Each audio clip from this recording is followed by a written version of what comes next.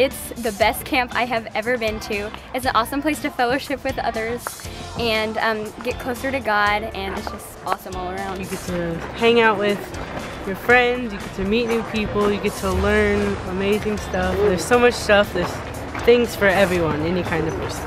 It's always just a special time for me and it, uh, it has made such a difference in my walk with the Lord. A lot of active stuff, but you also study God's Word and are in His Word like every day. It's an awesome experience. You get to spread God's Word and, and plus it's just a load of fun.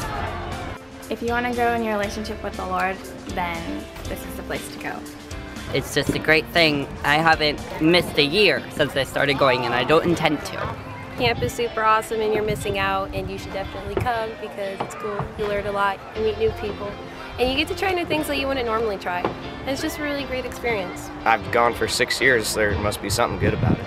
It's a great place of worship and fellowship and it's it's fun also uh, it's, it's fun while you're learning about Christ and that it's just a great place to be.